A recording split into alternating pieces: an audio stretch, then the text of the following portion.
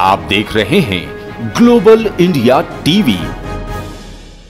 दसाई प्राथमिक स्वास्थ्य केंद्र में करीब एक वर्ष के लंबे इंतज़ार के बाद स्वास्थ्य विभाग की ओर से फिर से लैब टेक्नीशियन राजेंद्र चौहान की प्रति नियुक्ति की गई है।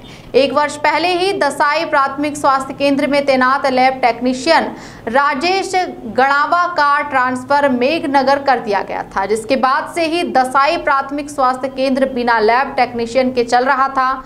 बिना लैब टेक्नीशियन के अस्पताल में आने वाले मरीजों को किसी भी प्रकार की जाँच नहीं हो पा रही थी।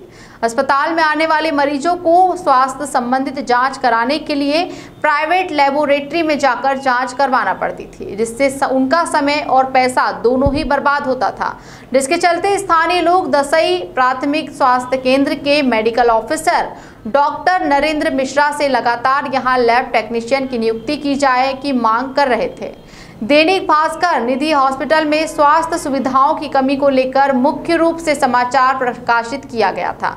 डॉक्टर मिश्रा ने जल्द ही यहाँ लैब टेक्नीशियन की प्रतिनियुक्ति के लिए लोगों को आश्वस्त किया।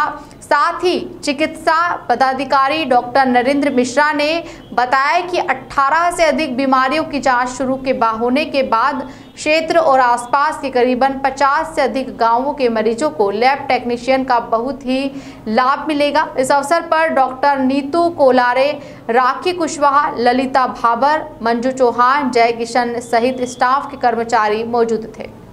मनोज बैरागी की रिपोर्ट। आज एक जो विशेष उपलब्धि दसई प्राथमिक स्वास्थ्य केंद्र के लिए है, जो हमारे वरिष्ठ अधिकारियों के माध्यम से हमें प्राप्त हुई है कि आज हमारे पास लैब टेक्नीशियन की पदस्थापना हुई है और जिसके लिए हम कोरोना काल से आज दिनांक तक निरंतर प्रयास करते रहे और इसमें ग्रामीण जनों का और समस्त पत्रकार और यहाँ के समस्त जो महानुभाव हैं, सभी का बराबर योगदान रहा है कि जो मेरे कदम से कदम मिला करके इस मांग को उठाते रहे और आज हमारे वरिष्ठ अधिकारियों ने हमें एक लैब टेक्नीशियन प्रदान किया है। साथ में ही हमारे लिए यहाँ पे एक ही सिस्टर थी जो दिन रात डिलीवरी कराती थी। आज हमारे लिए एक लैब टेक्नीशियन के साथ एक सिस्टर की भी पदस्थापना हुई है। जो आप सभी के सामने समक्ष उपस्थित है।